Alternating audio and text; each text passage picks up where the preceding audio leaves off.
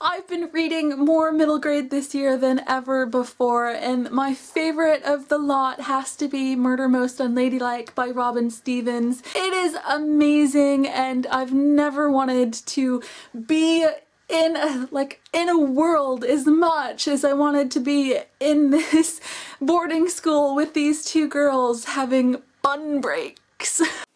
So I've read quite a lot of middle grade books this year. I've actually been focusing on reading what I would call the classic books with my seven year old daughter. So we've read a lot of Roald Dahl this year and I've really enjoyed rereading Charlie and the Chocolate Factory and Matilda. We've also started getting into the Horrid Henry books but of releases this year the books I particularly enjoyed is The Girl Who Walked on Air by Emma Carroll, uh, The Iron Trial by Holly Black and Cassandra Clare and also Memoirs of a Neurotic Zombie by Jeff Norton.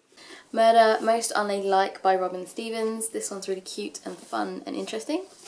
Bird by Crystal Chan. This book blew me away. It's absolutely amazing, fantastic, totally not what I was expecting.